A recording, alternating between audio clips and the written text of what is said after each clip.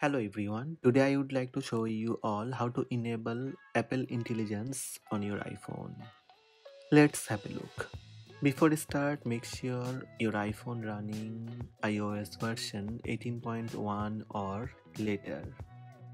Right now, Apple Intelligence is only compatible with iPhone 15 Pro, iPhone 15 Pro Max and iPhone 16 series. To enable Apple Intelligence on your iPhone, First, open Settings app. In Settings, scroll down and tap Apple Intelligence and Siri.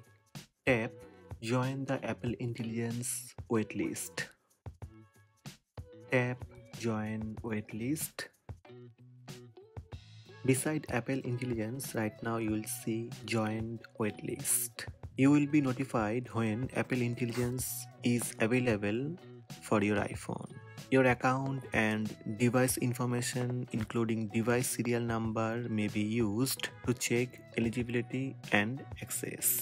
It will take a while for your iPhone to download the models related to Apple Intelligence and prepare your system for these features. You will get a notification when your iPhone is ready to use Apple Intelligence features. Open Settings app on your iPhone and here you will see the notification or tap Apple Intelligence and Siri. Simply turn on the button beside Apple Intelligence. Apple Intelligence turn on, you can tap learn more to get more info. That's it. These are the steps to enable Apple Intelligence on your iPhone.